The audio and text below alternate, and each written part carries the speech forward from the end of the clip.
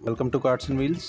कैसे हैं दोस्तों? आज हमारी वर्कशॉप में काफ़ी सारी गाड़ियाँ खड़ी हुई हैं। आज हम एक महिंद्रा एक्सयूवी की मेजर सर्विस कर रहे हैं और मारुति सियाज की एयरबैग यूनिट पूरा हम चेंज कर रहे हैं।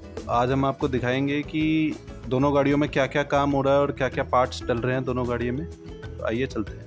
तो ये गाड़ी है महिंद्रा एक्स यू 500 इसकी आज हमने एक मेजर सर्विस करी है। क्या क्या काम किया गाड़ी में? इसमें इंजन ऑयल हुआ है ऑयल फ़िल्टर हुआ है एयर फ़िल्टर हुआ है एसी फ़िल्टर चेंज हुआ है। एसी की एक वाल लीक था ये वाला। दिखाओ वॉल दिखाओ कौन सा है। एक ये एलपी वॉल लीक था इस गाड़ी में। ये वॉल थे लीक पड़े थे। ये वो वॉल थे। बाकी ये सारा इस गाड़ी में हमने सामान डाला है। ये एयर फ़िल्टर है इस गाड़ी का। ये ऑयल फ़िल्टर है। ये आप देख रहे हो, महिंद्रा का जेनवन है। ये बॉश का एक डीजल फ़िल्टर है इस गाड़ी के अंदर। ये डीजल फ़िल्टर पड़ा हुआ है इस गाड़ी का। ये हर चालीस हज़ार किलोमीटर में डीजल फ़िल्टर चेंज हो जाना चाहिए। डेलकॉन का इंजन फ्लश हमने यूज़ किया है क्योंकि ये गाड़ी पंद्रह हज़ार किलोमीटर से ऊपर हो चुकी है सर्विस किए हुए। तो एक डेलकॉन का इंजन फ्लश इसमें यूज़ किया गया है ताकि जितना भी कार्बन हो, वो हम सारा रिमूव कर पाएँ। उसके बाद एक सर्विस कर रहे हैं गाड़ी की। ऑयल जो हम इसमें यूज़ कर रहे हैं, वो यूज़ कर रहे हैं इसके अंदर जिक का।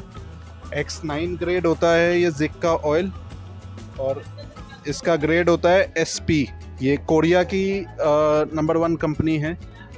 फुली सिंथेटिक इंजन ऑयल है जो हम यूज़ कर रहे हैं. अप्रॉक्सीमेटली सात लीटर इंजन ऑयल इसमें जाता है. 6.5 6.7 लीटर्स के आसपास जाता है. बाकी एक मेजर सर्विस होनी है. कूलेंट अभी चेंज करेंगे गाड़ी का. और क्या क्या रह गया गाड़ी और कूलेंट चेंज करना है बाकी गेयर ऑयल सही था इसका वो चेंज करा. ब्रेक पैड की क्या condition brake pad pad okay है. सारे आगे पीछे? अगले पिछले दोनों चेक कर लिए. ये वॉल्व हैं गाड़ी के? ये वॉल्व नए डालेंगे।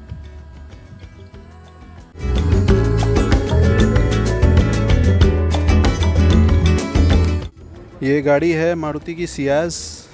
इस गाड़ी, ये गाड़ी आज हमारे पास स्पेसिफिकली आई है एयरबैग का काम होने।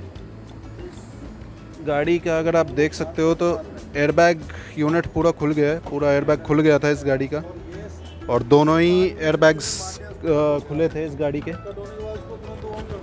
तो दोनों ही इस गाड़ी का पूरा कंप्लीट एयरबैग यूनिट हम डाल रहे हैं। तो इसके अंदर एक तो हम ये एयरबैग का फ्रंट यूनिट डाल रहे हैं। एक ये दोनों इसकी सीट बेल्ट्स हम डाल रहे हैं नई। ठीक है? सामान आप ये देख सकते हो, मारुति का सारा जेनवन सामान हम इसमें डाल रहे हैं। ये इसका एयरबैग कंट्रोल यूनिट होता है, जो मॉड्यूल होता है एयरबैग का।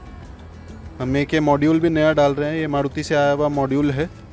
ठीक है, सारा सामान मारुति का जेनवन है जो हम इसमें डाल रहे हैं। ये मॉड्यूल का ये बॉक्स है इसका। उसके बाद ये अभी हम सेंसर्स डालेंगे इसके अंदर सारे। ये सेंसर अभी जाने हैं इसके अंदर।